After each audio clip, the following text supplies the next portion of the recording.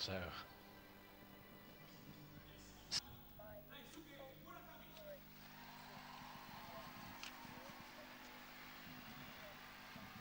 So first to go will be the 24-year-old from Japan, from Kanagawa. Third in Skate Canada, third in Bordeaux. Skating to uh, wonderful music, Josh Groban's Bring Him Home for Daisuke Murakami.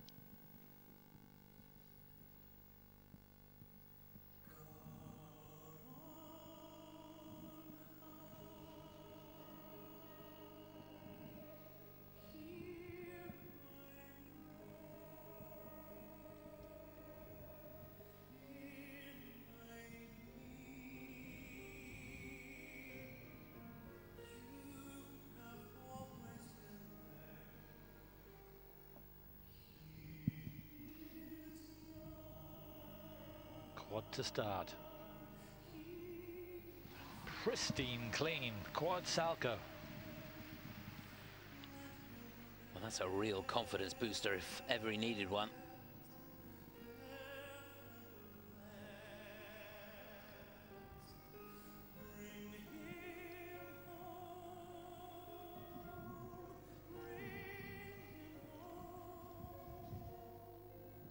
Now for the axel. And again, beautifully landed.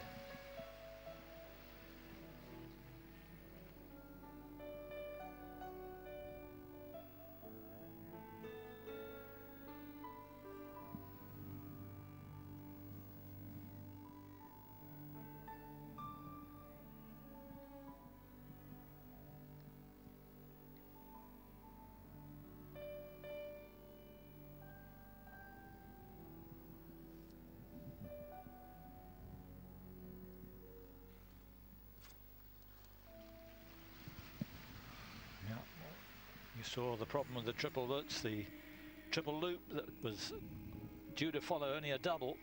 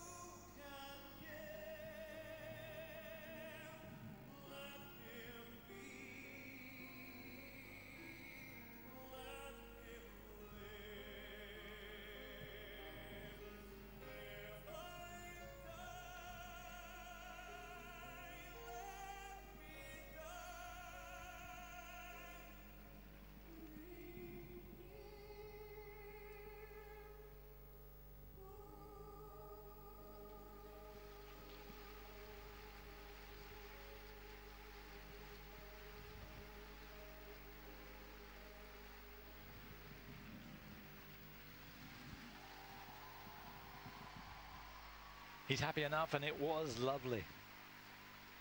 But one mistake, and in this company, any mistake is going to be expensive. Yeah, it is amazing. These guys are really pushing the envelope. It, uh, the program started off very well.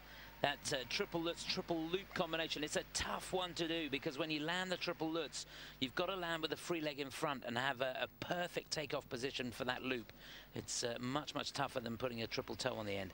And uh, you can see he was all over the place on the lutz and had to opt for putting a double toe on, uh, which he scrambled.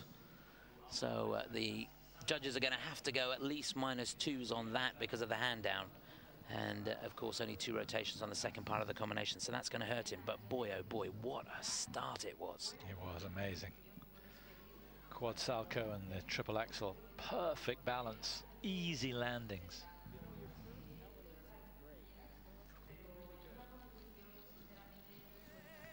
It sure was.